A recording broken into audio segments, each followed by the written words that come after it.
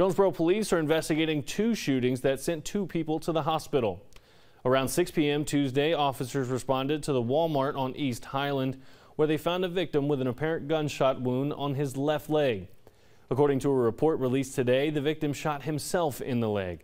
Three unnamed suspects were listed in the report.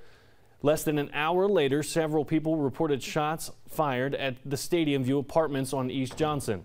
This was a story we told you about on K8 News at 10 last night. While officers said they did not find a victim, one did ar arrive at a hospital for treatment.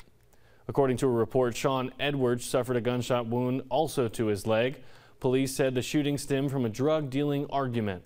Investigators found several shell casings in the parking lot as well as a wallet and iPhone. The report showed six unnamed suspects between the ages of 17 and 20. If you know anything about either of these cases, call police.